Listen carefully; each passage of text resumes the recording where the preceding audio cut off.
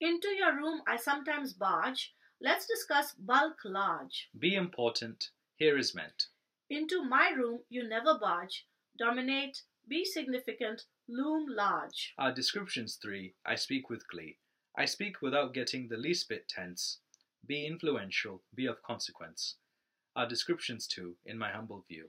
I hope my manner doesn't irritate. One description is carry weight. I speak in a manner sound. One word is count. Pardon my chatter, another is matter. I speak with the sigh, signify.